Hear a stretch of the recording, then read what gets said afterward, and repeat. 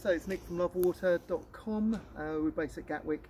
Uh, we're helping out the NHS uh, Frontline Fund uh, or Frontline NHS Fund uh, today. Um, receiving a call yesterday just asking if we could provide some uh, water and that's exactly what we're going to do. So we're going to head up to London, deliver some water to the Chelsea and Westminster Hospital and it's all for a great cause and the NHS uh, or Frontline NHS Fund are fantastic so you're doing a great job. Thanks very much.